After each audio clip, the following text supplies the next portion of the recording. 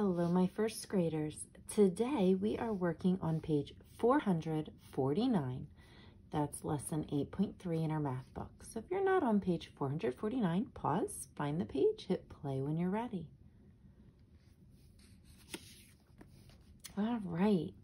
So yesterday, just a reminder of what we did the last time we worked in our math book, we were adding, right? And we showed, we talked about how we use our tens and ones to represent our numbers when we're adding really big numbers. That's how we would draw our picture, like 70 plus 20.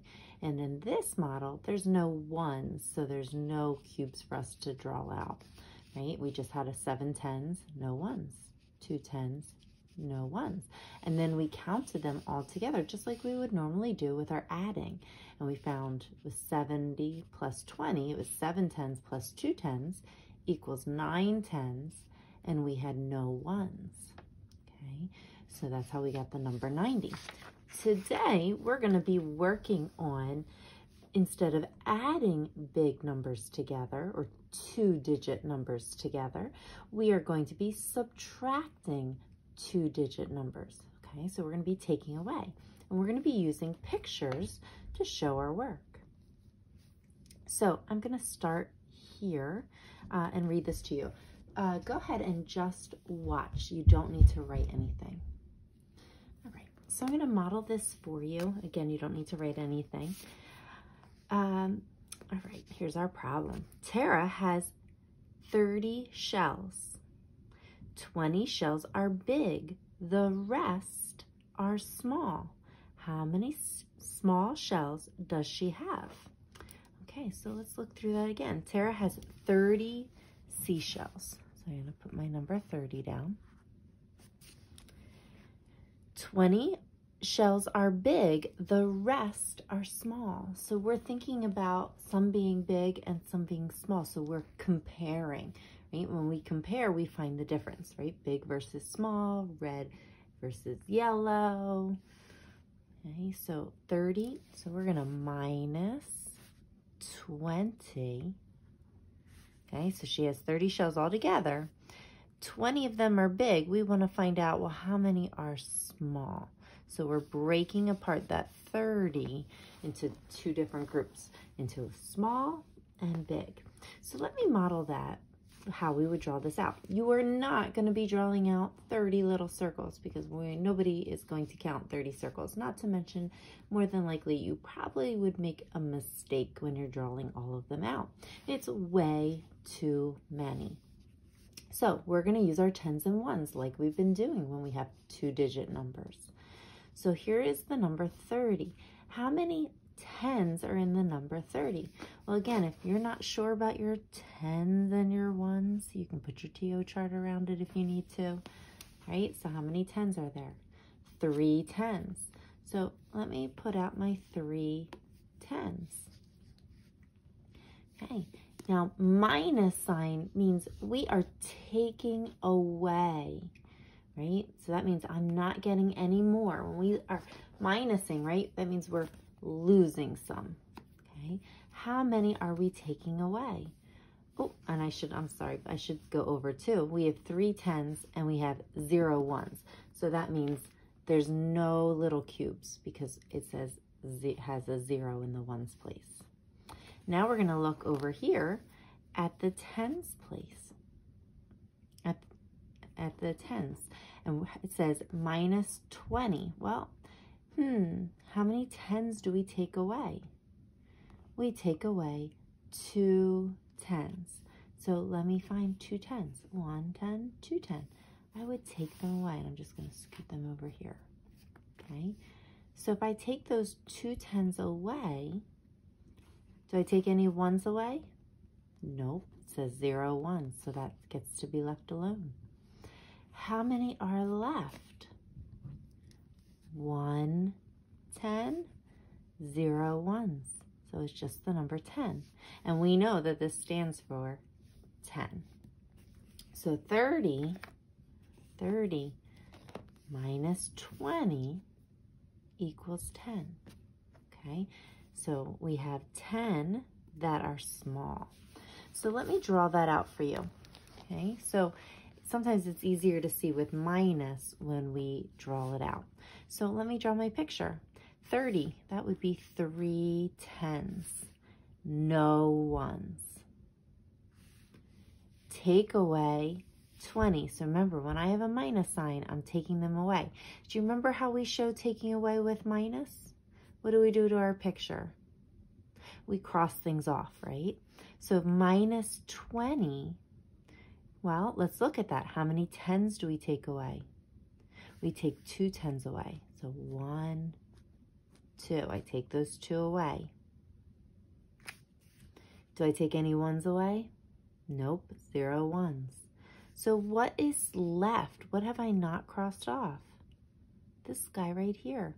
And that represents 10 or one 10 and zero ones. So let's try another one. Sammy has 50 shells. He gives 30 shells to his friend. How many shells does Sammy have now? So let's go back.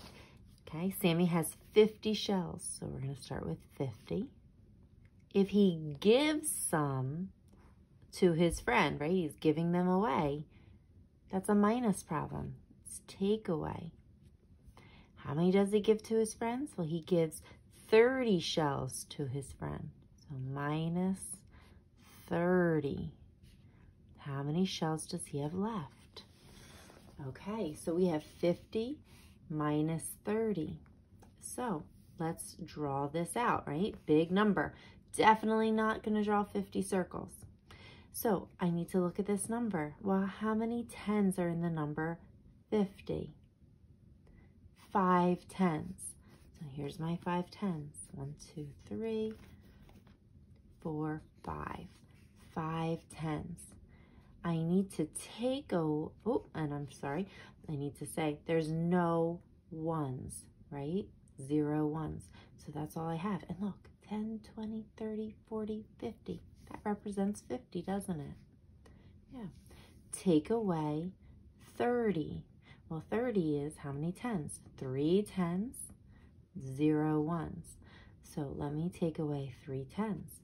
One ten, two tens, three tens. I need to take those away. Are there any ones to take away? Nope, just my tens, please. Zero ones. How many are left?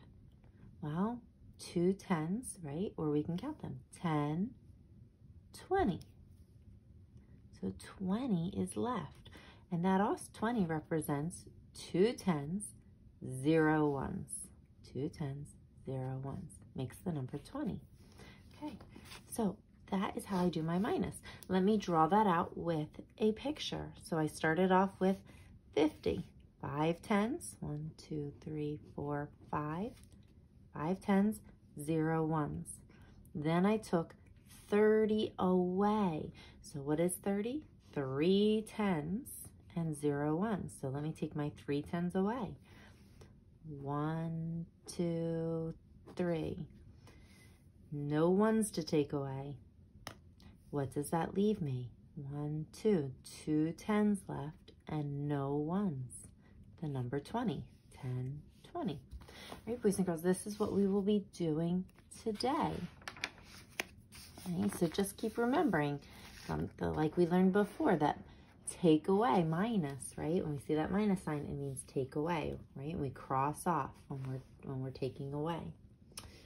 All right, how can you find 80 minus 30? Well, here's our problem, 80 minus 30. Well, in the number 80, we have eight tens. So here's the eight tens that they drew. No ones. So notice there's no little cubes around, right? No ones. Minus 30. So we're going to take three tens away. So look at that. One, two, three. They put a big X on those three. There's no one, so we don't have to worry about that. How many are left? One, two, three, four, five. Five tens. And five tens and zero ones is the same as the number 50. And we can count that. 10, 20, 30, 40, 50. Okay, take a look over here. We're going to be doing the same thing. Okay, we're going to be drawing it out. It says draw to show tens. Write the difference. How many tens? So we have 60 minus 20. So look at the number 60. See, we have no ones in there, but we have six tens. So we're going to draw six tens. So go ahead. One, two. Draw your six tens out. There's no ones, so we don't have any ones. Now it says minus 20. So we're taking away two tens. So let's cross off two of our tens. And if you want, you can put a circle around the two of them, give it a big X. Okay. How many tens are left? Because look, again, we have no ones there. So let's count. How many tens? One, two, three, four. There's four tens. Let's think about what does that mean? Four tens, zero ones. What's that number? 40. And we can count it like this. 10, 20, 30, 40. Okay, let's try another one together. Seven tens, 70 minus 30. Well, look, there's no ones in there, so we don't even have to worry about our ones place. So we have seven tens. So let's start with seven tens. Okay, there's our seven tens. No ones. Minus 30, right? Or look, three tens. So let's see, take find three tens. So look, here's my three tens. Put a big circle around them, cross them off. How many are left? Well, how many tens do you see left? One, two, three, four. Four tens left.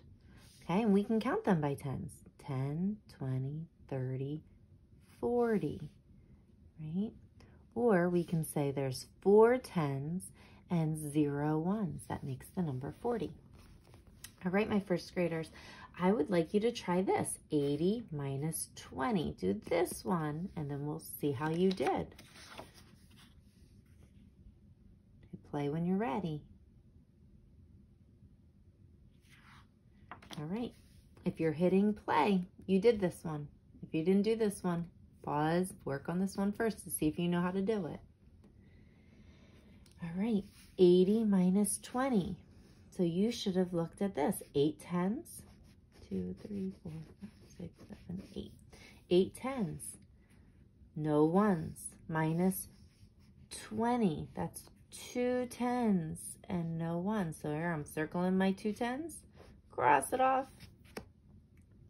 How many are left? Well, let me count my tens. One, two, three, four, five, six. Six tens. Oops, I didn't give myself a lot of space. Six tens are left. Well, what is six tens? Six tens and zero ones is the same as the number 60. You could have counted them 10, 20, 30, 40, 50, 60 to get your answer. All right, I'd like you to try 90 minus 40. Draw your picture, right? Think about how many are you crossing off. Hit play when you're ready. All right, you're hitting play. You did this one. You're ready to check it. All right, 90 minus 40. Well, you should have had nine tens. One, two, three, four, five, six, seven, eight, nine. Nine tens. There's no ones.